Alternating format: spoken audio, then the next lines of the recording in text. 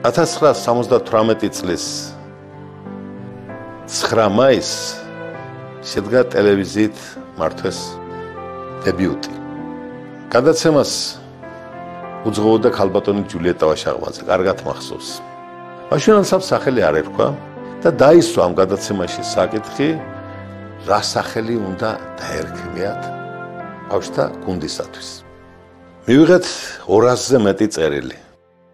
მოამრავ წერილში, რომელიც რედაქციაში მოვიდა საქართველოს თითქმის ყველა კუთხიდან 80-მდე სხვადასხვა სახელი სახელია ჩამოთვლილი და ყველა უდიდესი სიყვარულით და დიდი რუდუნებითა შერჩეული. აი ეს არის სწორედ აღსანიშნავი და დიდად სასიამოვნო.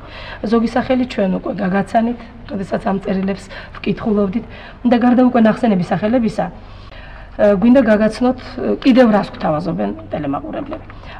ეს არის სიხარული, მაია, ცისკარი, ქაჯანა, ტანძია, საუნჯე, მზეჭაბუკები, აისი, ეკო, დილა, იმედი, არაგვიანი, გამახარე, კიდევაც დაიზრდებიან. მერცხლები, ჩანგი, ცანგალა და გოგონა, საქართველო, თბილისი და კიდევ მრავალი სხვა. ერთადერთი წერილი, რომელმაც საქართველოს ტელევიზიის ხალხურ გადაცემათა რედაქციის ყურადღება მიიქცია, იყო დავით შაქარიშვილის მიერ გამოგზავნილი წერილი საგარეჯოდან.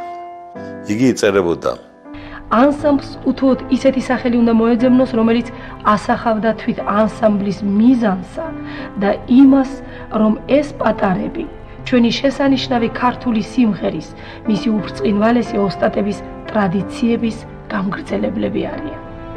პირადად მე გთავაზობთ სახელს მართვე. პატივისცემით დავით შაქარაშვილი საგარეჯო. და დაიწყო მართვეს დიდი გზა რომელიც დღემდე გრძელდება. თერხომ საქართველოსში ელოდებოდნენ დიდი სიხარული და სიყვარულით ხდებოდნენ მართვეს ყველა რაიონში ყველა რეგიონში. შემდეგ უცხოეთშიც პირველად რუსეთში მიგვიწვიეს კონკურსებზე, ფესტივალებზე ყველას ვერ ჩამოთვლით.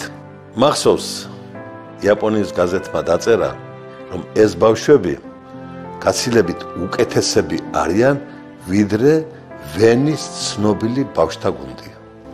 ეს ხო ჩვენთვის უდიდესი შეფასება.